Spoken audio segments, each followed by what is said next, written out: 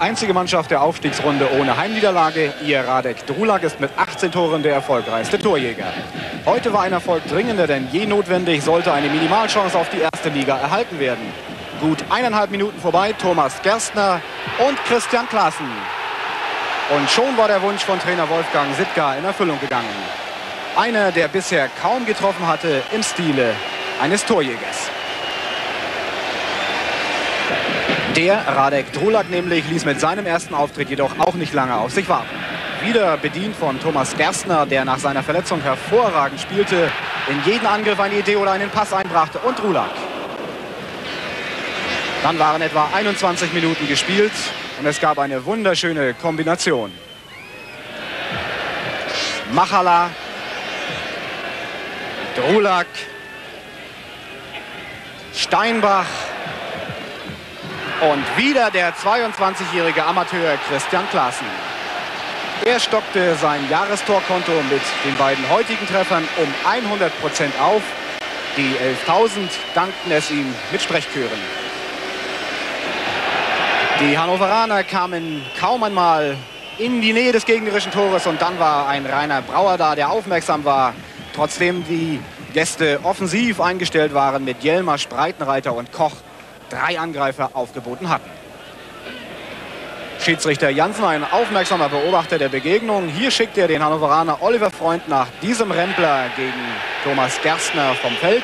Dessen Bodenübung allerdings hätte auf jede schlechte Bühne gepasst.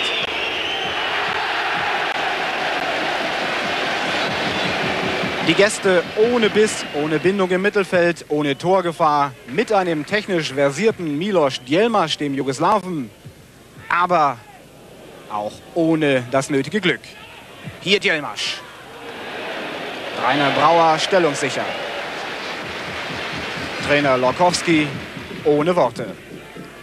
Und ohne einen Angreifer wie Radek Drulak, der 30-Jährige kaum aufzuhalten, von seinem Gegenspieler Sundermann heute jedenfalls nicht. Oftmals mit Effet erfolgreich, diesmal zu Beginn der zweiten Spielhälfte zu heftig angeschnitten. Wenig später die 58. Minute. Wieder das Trio Steinbach, Gerstner und Radek Drulak. Tor Nummer 19 für den Tschechoslowaken.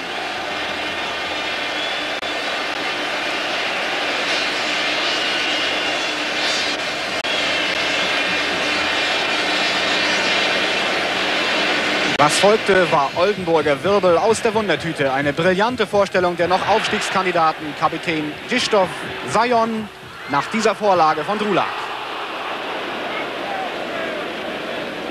Es lief wie am Schnürchen. Gerstner, Linke und wer, wenn nicht Radek Drulak, beförderte das Leder zum vierten Mal in die Maschen der entnervten Gäste. Der Held des Pokal-Halbfinales trug es mit Fassung. Fragen der Zuschauer, Sprechchöre, was wollt ihr in Berlin, musste aber auch er sich gefallen lassen und noch einen Gegentreffer, noch einen vom dreimaligen tschechoslowakischen Nationalspieler Radek Drulak. Fußball zum Angewöhnen, fünf Tore am Marschweg, eine Gala-Vorstellung des VfB.